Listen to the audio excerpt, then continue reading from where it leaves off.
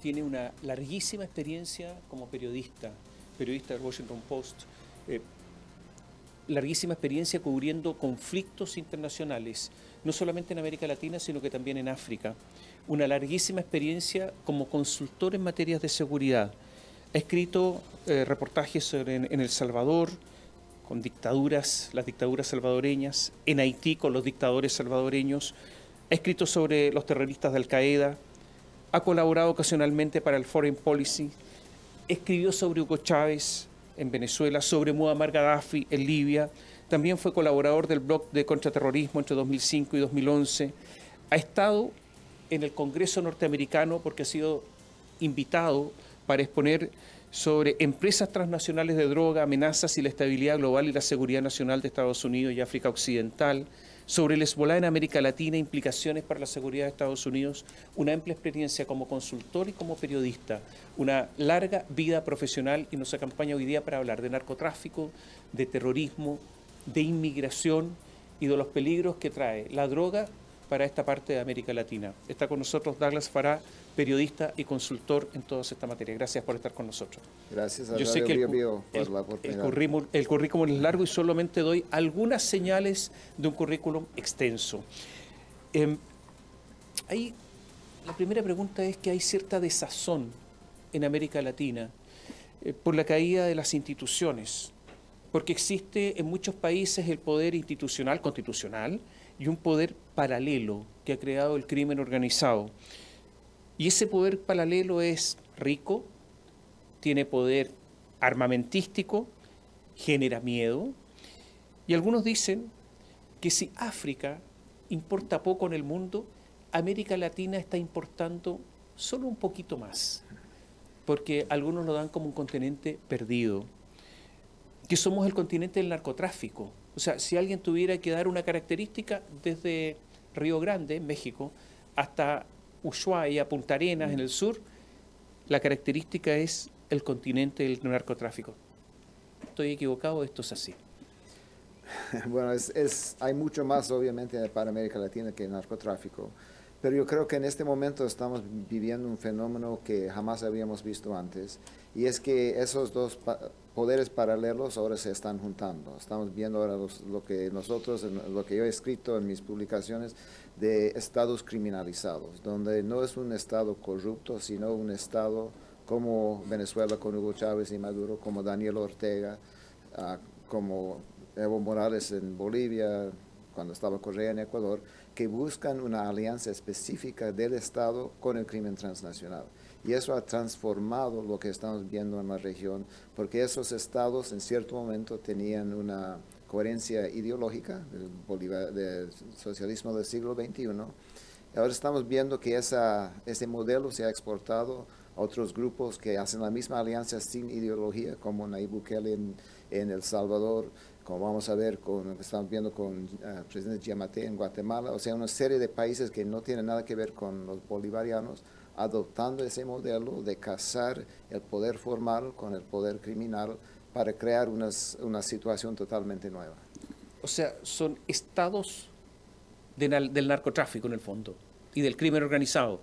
Yo diría que ahora no se puede hablar tanto de narcotráfico, aunque es importante, sino de, estamos hablando de tráfico de, de precursores para los químicos, la, para la droga sintética, que normalmente en narcotráfico asociamos con cocaína. ¿no? Estamos viendo un tránsito enorme de pesca ilegal, de madera ilegal, de destrucción y ahora más que nada en Venezuela, específicamente en Nicaragua, el, tráfico de oro, o sea, sacando oro a costo de destruir todo el medio ambiente donde se, de donde se saca el oro.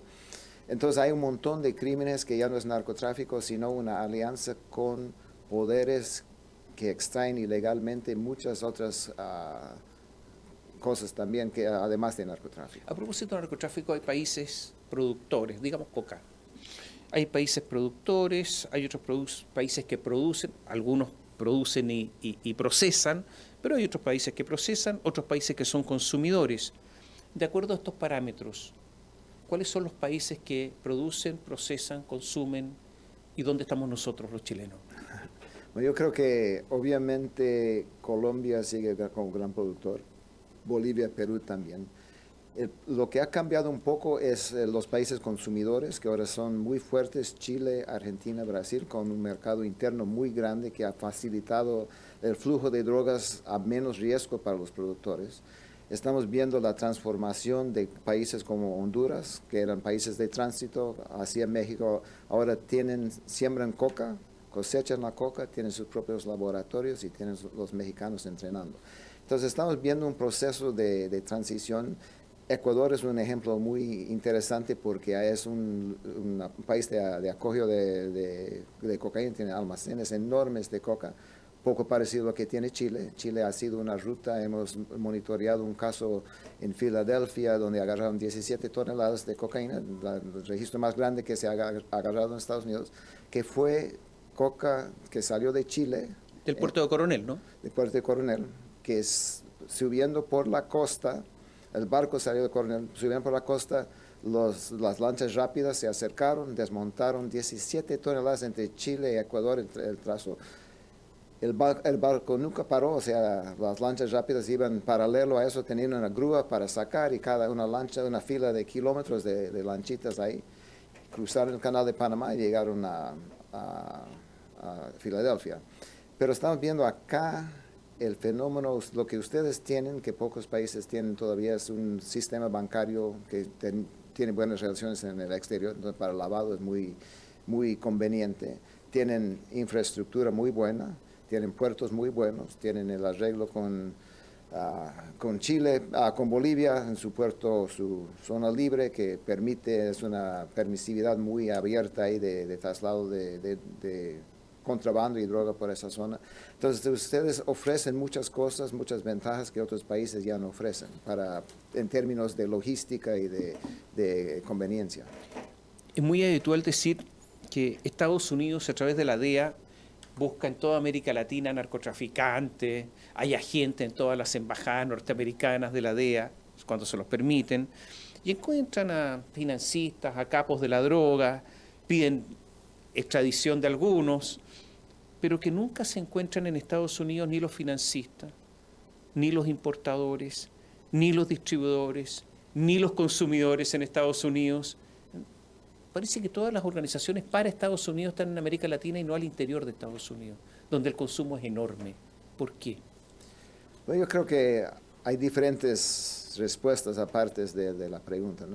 El hecho de que no haya agarrado capos en Estados Unidos de droga, la, explicación es relativamente sencilla, porque los grupos mexicanos y los grupos colombianos nunca han confiado en los gringos para, para distribuir en Estados Unidos en masa. Los vendedores de esquina, los narcomenudeo, gringos. Pero las estructuras han nacido en Colombia y México y nunca se han trasladado esas estructuras en masa de liderazgo a Estados Unidos. Pero lo que hemos visto, lavado, han habido muchos casos de lavado, pero y eso eh, yo diría lo que, lo que usted dijo, la gran debilidad de Estados Unidos ha sido eh, la permisividad de sus instituciones financieras para lavar, lavar ese dinero. Y yo creo que la otra realidad es que Estados Unidos, lo que usted dice es cierto, pero en Estados Unidos el consumo de cocaína ha bajado más del 50% en los últimos 5 o 6 años. No el consumo de droga, porque la droga sintética ha reemplazado eso, pero la generación actual, 18, 19, 20 años, esa gente no conoce cocaína es demasiado caro, es otra cosa. Entonces, la realidad es que el consumo masivo ahora es Europa, la ex Unión Soviética, Australia, están experimentando una ola masiva de consumo de, y, los, los, mercados internos acá, Chile, Brasil, Argentina, que es un número 4, 5, 6 en la lista de consumo per cápita en el mundo, han creado otros mercados. Claro, Estados Unidos consume bastante, sí, o sea, no, no digo que no consume, pero la tendencia de mover el mercado hacia dónde va el dinero, o donde el mercado es más, más ah, rico, ellos siguen ese... Eh, un kilo de coca en Miami se vende 17 mil dólares. En Australia, 250 mil dólares. En Rusia, 70 mil dólares. Entonces, ¿por qué vas a buscar un mercado de 17 mil cuando tienes acceso a mercados que son mucho más rentables? Cuando cambie eso, van a regresar a Estados Unidos sin duda, pero es otra generación. Está bien, pero Estados Unidos ha importado mucha droga y tiene que haber una enorme logística para distribuir eso. Sin duda. Y tiene que haber jefes para eso, y tiene que haber gente que compre algo, y encuentran muy poco. por lo menos a mí me ha llamado siempre la atención. Bueno, yo diría en cuanto al consumo o la venta del narcomenudeo, ha sido... Tiene que coimear gente para entrar a los puertos. Tiene, sin duda, sin duda. Y hay, han habido, yo diría, bastante casos, pero sin, sin duda un lugar muy permisivo. Y yo diría que en, ese, en lo que usted va es que hay una gran hipocresía en tanto a Estados Unidos en cuanto a... Y es cierto, Estados Unidos ha presionado, ha presionado y América Latina ha puesto los muertos, sin duda. O sea, eso no, no, no es para justificar lo que la realidad que es esa. Yo creo que en términos de los que han procesado decenas de miles de personas en Estados Unidos por consumo y por venta de droga, o sea, es las cárceles, es el país más carcelario del mundo después de China y la gran mayoría tiene que ver con la venta de droga, que es, uno puede debatir, yo digo que es una locura, ¿no? Pero sí han, agarrado eso, pero al final de cuentas, 40 años de guerra contra el narcotráfico ha sido una gran hipocresía sin duda. Eh, usted ha mencionado varios presidentes, varios países, pero son países gobernados por personas de distinta ideología. ¿Qué tiene que ver Bukele? Está muy famoso Bukele, mm. incluyendo en Chile, que dice, no, Bukele hace las cosas. Entonces, eh, ¿qué tiene que ver Bukele con, eh, con Daniel Ortega? ¿Qué tiene que ver Bukele con, eh, con Venezuela, con Maduro? ¿Tienen que ver? ¿Están actuando de la misma manera? Están, yo diría que ideológicamente nada que ver. No, pero en, términos, mire, lo que diseñó Hugo Chávez que pasó después a Evo Morales y a Rafael Correa, era un modelo de tomar el sistema, de cerrar los medios, de quedarse eternamente en el poder, o sea, destruir las instituciones, acapar, todo el espacio de, en el Congreso y principalmente la justicia. Y de ahí legalizar todo lo que uno quiere hacer para eh, abusar los derechos humanos, apresar los, la, la, oposición política, etcétera es un modelo que Bukele está adoptando ahora, no, no, es que tenga algo que ver ideológicamente con Ortega, pero el modelo le sirve. Y el modelo es cerrar los medios, atacar las ONGs, cambiar las leyes, legalizar todos los abusos que está haciendo y casarse con el crimen organizado. Es que eso, ahí voy. Gente de derecha o populistas dirán otro, gente de izquierda los dos se casan con los movimientos criminales, con las organizaciones criminales. Exacto. y es un fenómeno relativamente nuevo. ¿Bukele está, llegó a acuerdo con organizaciones criminales? Claro que sí. ¿No, es verdad que, ¿No es verdad que esté atacando a las maras? No, es, es, es, un juego de pantalla fantástico, muy largo para describir a, a, fondo, pero básicamente él tiene una alianza muy fuerte con las maras. Lo que ha hecho es agarrar, según él, 53 mil mareros no, hay 53 mil mareros en el país. Ha agarrado mucha gente, que la gran mayoría que no tiene nada que ver. Los que ha desfilado ahí, muchos ya estaban en la cárcel, los saca, hemos apresado otros 10 mil y son los 10 mil que ya estaban adentro. Y los pandilleros del MS-13 básicamente quieren estar dentro de la cárcel, o sea, gobiernan el país desde la cárcel. Y el control territorial de lo que habla Bukele es un control territorial no de las Fuerzas Armadas, no de la policía, es un control territorial negociado con las maras ellos dan control territorial. Y cuando no puede pagar el gobierno lo que les debe en esos casos específicos, permite que la, la Mara cobra en, coca que, es decomisado por el Estado para, para narcomenudeo y para venta. Entonces es una característica de estos gobiernos de derecha o de izquierda es que dominan las redes sociales, crean una narrativa completamente ficticia, pero dominante, cuando uno comienza a decir que no es así, ah, no, solo eres enemigo de Bukele, eres enemigo del presidente más popular en el mundo. Entonces eres enemigo del pueblo salvadoreño y en base a eso te podemos poner en la cárcel. Han, han puesto en la cárcel por tweets ahora a, gente que atacaron, que uno que preguntó que por qué el hermano de Bukele tenía 12 carros de seguridad en la playa cuando no es funcionario. ¿Quién pagó la seguridad de Karim Bukele? A la cárcel. Una cosa que, claro, el gobierno de El Salvador no va a reportar eso. Controlan los medios, controlan la narrativa, controlan las redes sociales. Entonces, claro, El Salvador no importa mucho, no hay mucha bulla sobre eso, entonces pueden hacerlo otra vez, otra vez, otra vez, igual que Daniel. ¿El gobierno norteamericano apoya a Bukele?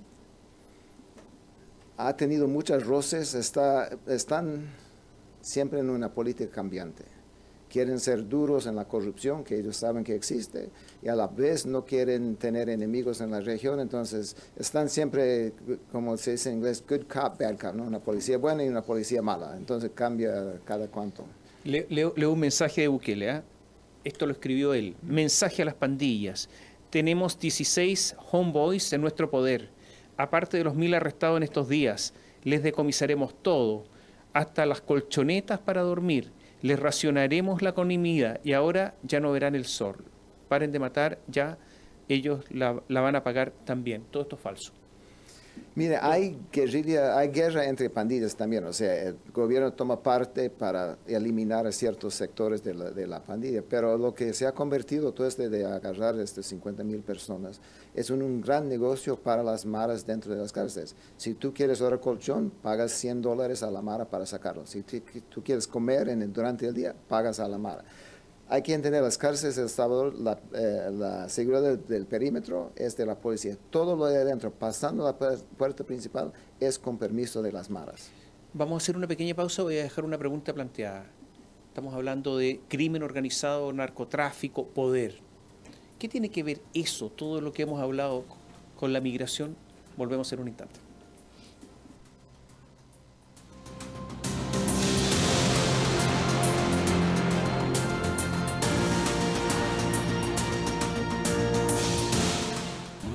De lunes a viernes, pasada las 10, continúa tu mañana con el Expreso Bio, Bio Lo que está pasando y los temas más relevantes los conocemos y escuchamos al instante. Acompáñate y viaja junto a nosotros. Expreso Bio, Bio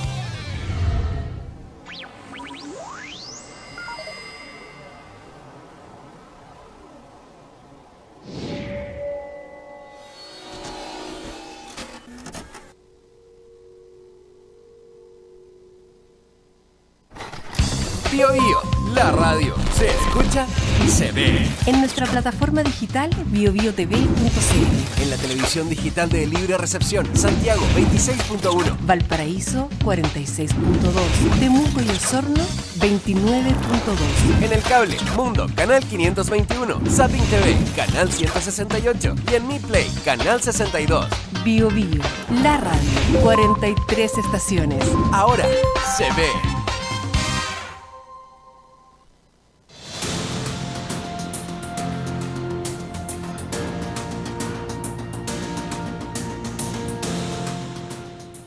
La pregunta quedó planteada Douglas Farah antes de ir a la pausa.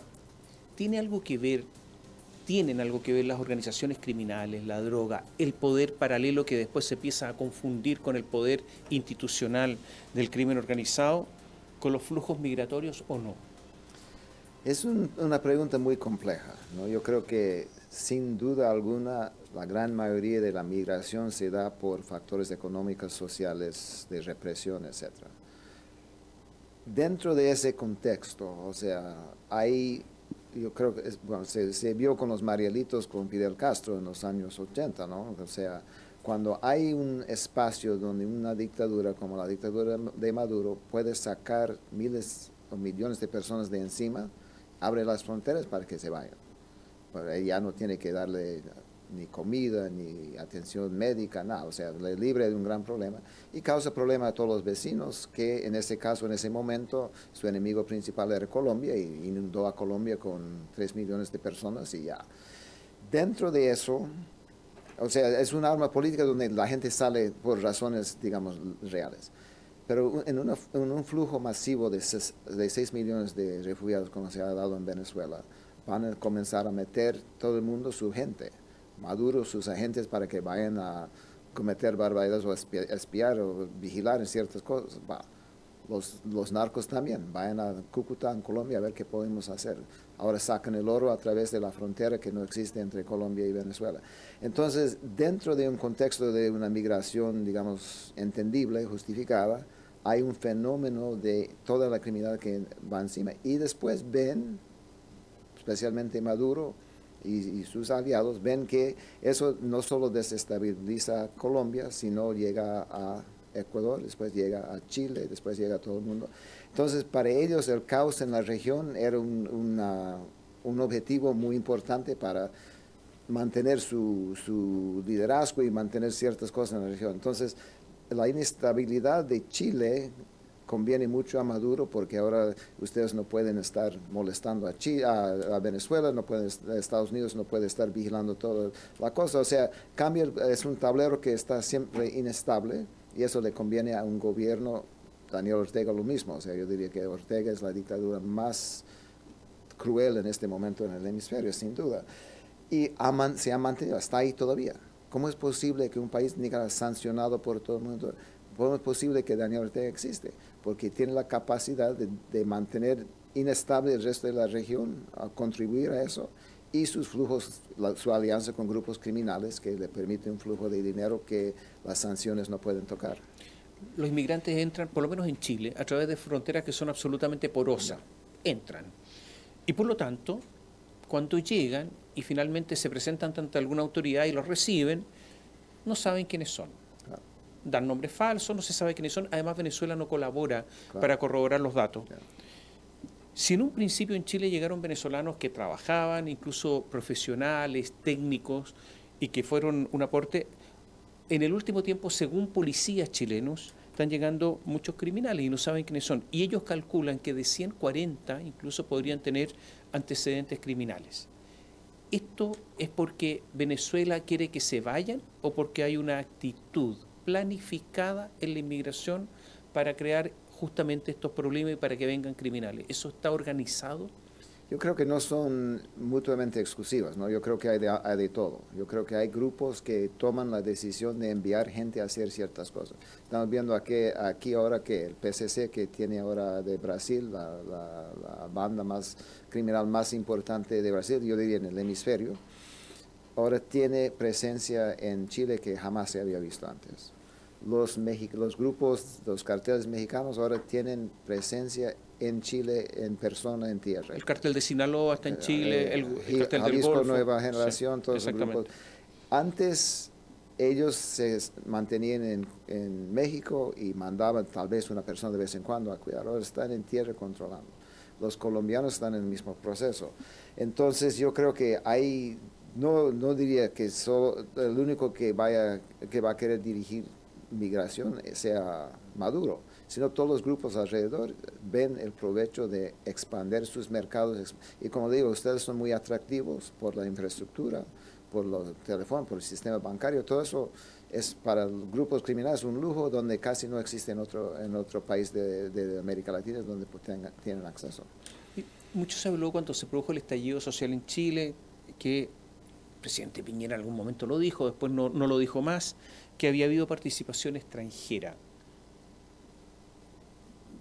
muchos pensamos que hubo un estallido por razones internas y por descontento, de eso no cabe la menor duda, y que se aprovecharon los ladrones de siempre que asaltan un supermercado, pero también que había barras bravas, que había grupos anarquistas, etcétera. Pero ¿hubo intervención extranjera? ¿Hay algún antecedente de eso?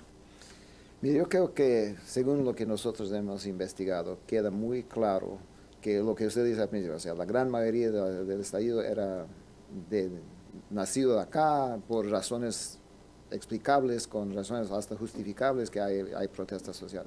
Pero lo que vimos en Colombia, e, Ecuador y Chile en ese momento es que grupos pequeños, muchos de ellos vinculados, han, sido entrenados por las FARC durante la guerra, especialmente aquí en Chile, donde hay un, grupo, un núcleo muy grande de gente entrenada por las FARC, que llevaron esas protestas normales, sociales, a, ser violentas. O sea, el, propósito, si uno tiene 100 mil personas, 30 pueden causar un daño enorme y crear un caos y la violencia. Entonces yo no creo que sea la masa de, la, gente que estaba ahí. Pero sí, y uno solo tiene que ver lo que dice Diosdado Cabello en Venezuela, que iba a soplar, iba a venir la tormenta bolivariana a tumbar todos los países. Y, o sea, justo antes de que comenzara todo había una diputada chilena hablando en las, eh, las, en las reuniones de ALBA en, La Habana, diciendo, esto es lo que va a pasar, nosotros vamos a, y tenemos que usar violencia, usemos violencia. Va.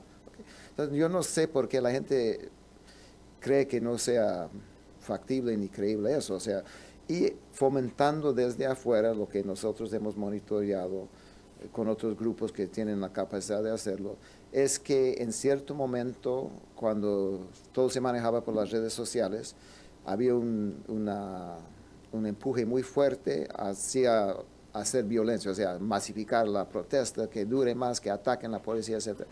70% de esos tweets vienen desde afuera, específicamente la mayoría en este caso de, Chile, Colombia, Ecuador, de Nicaragua.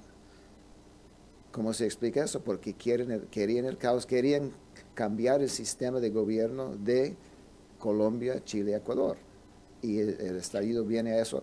O sea, nacido acá, sin duda, pero la parte que llevó a la violencia que no se había visto antes era eso. Y la, la gran mayoría de los medios sociales pidiendo que no ataquen a la policía, que sean pacíficos, 80% de esos vinieron de los países de origen de donde estaban las manifestantes. Entonces uno ve desde afuera una, un empuje muy fuerte para mantener la violencia y un empuje no tan fuerte porque no habían tantos, que no son tampoco que sea tan, tienen granjas de troles y todos que manejan miles de cuentas y parece una cosa que no es. ¿Hay influencia rusa?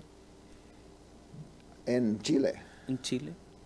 Hay una presencia no estatal rusa muy fuerte, muy vinculado al Estado ruso. Sí, ellos han, han tenido una base acá, en Chile desde 1998, o sea, cuando cae el muro y después entra uh, Yeltsin y, comienza el proceso muy fuerte. Entonces, y tienen una venta de tecnología de, vigilancia muy sofisticada que se vende desde, desde Chile, ¿no? Entonces... O sea, ¿es posible comprar alta tecnología rusa en Chile? Por el Internet con sedes rusos que... Aquí, que están acá. Que están acá, sí. Entonces es, preocupante eso.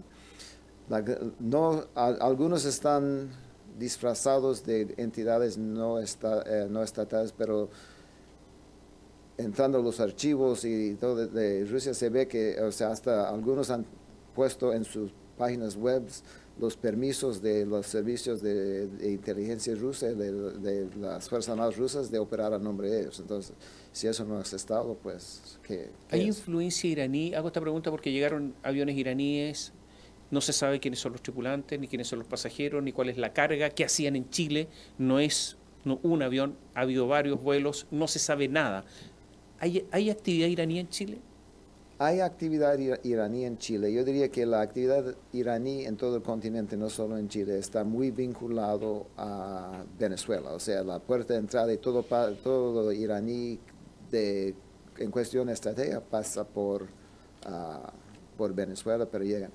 Están en un, en un movimiento, yo tampoco sé a qué vienen, pero hemos visto una reactivación de sus redes de compra de, productos de uso dual con ah, cosas nucleares en Panamá están súper activos. O, sea, han, reactivado una red que estaba medio quieto durante varios años. Entonces, ¿a qué vienen? No sé, pero si hay actividad, hay actividad. Chile hoy, son cifras oficiales, es el tercer exportador de droga a Europa. Mm. El tercero. Increíble, porque nosotros no, en general no la producimos.